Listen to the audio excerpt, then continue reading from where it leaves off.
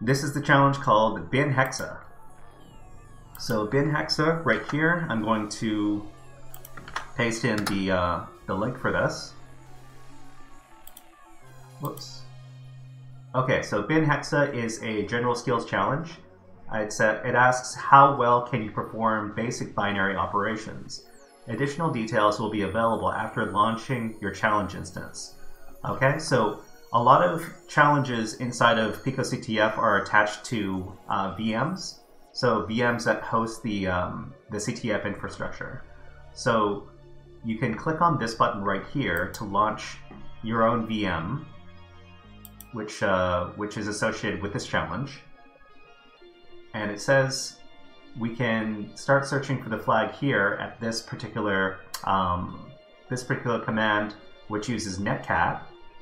Okay, so uh, before we copy this, and uh, this is probably not going to work for. Actually, you could probably use this yourself if you really wanted to. So I'll just um, paste this in and paste this into chat for you people. Okay. So let's let me go into uh, my directory for this. This is called binhexa. Okay, so, all right, so if we were to use this particular command right here, it says your task is to perform unique operations in the given order and find the final result in hexadecimal that yields a flag.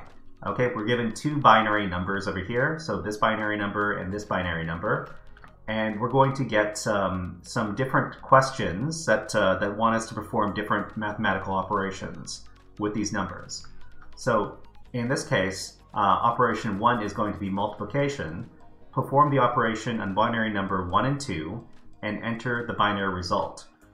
Okay, so what we could do is we could um, copy paste uh, each of these numbers into our binary calculator and do the math that way, but uh, that's that's a bit slow, uh, and I've designed a little script to, to do the same. So I've quit out of there, and I created this, uh, it took me a really long time to create this, uh, this script over here that connects to the server and does all the mathematical operations. It's called Connect Math,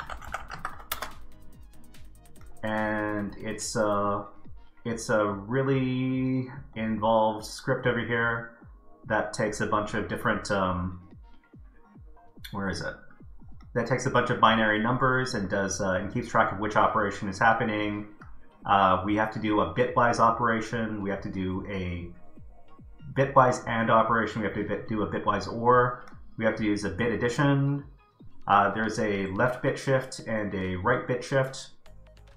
And there's minor um, multiplication. So depending on what is uh, what what appears, um, I've got this, uh, this script which connects to the server and then records the output and then does uh, and, send, and then sends answers to the, uh, to the server and gets the answer that way. So uh, I'm going to share the um, I'm going to share the script with you all.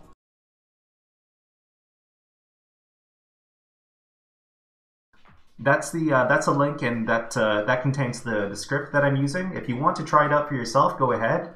Um, you're going to have to replace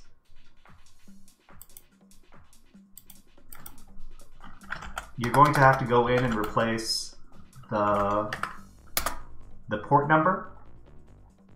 So at, at the bottom of the script here, um, there's a host and there's a port number, and you're probably going to need to replace the port number because it's different every time.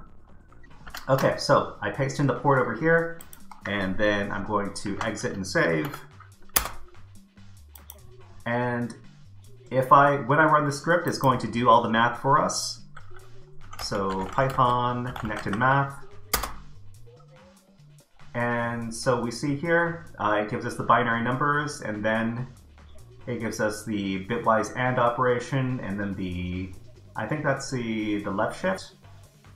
Is that the right shift? That's the right shift, and then the left shift, and then the addition, the multiplication, and the OR operation. And then finally, we get the answer in hexadecimal, and we get the flag over here.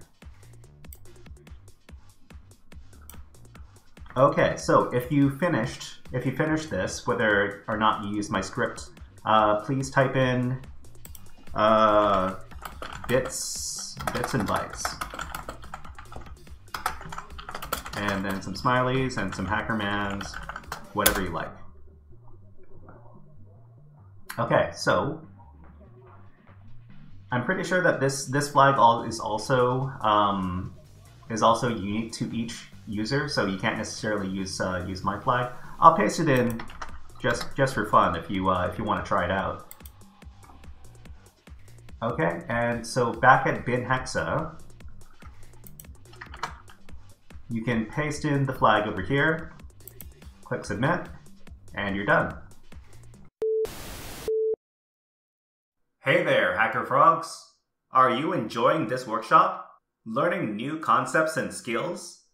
If so, there's a way you can support the channel, and it's totally free. Just click on the subscribe button below the video. Also, click on the like button. And if you have questions or comments on this workshop, please leave them below the video. Thanks for listening. And now, back to our scheduled programming.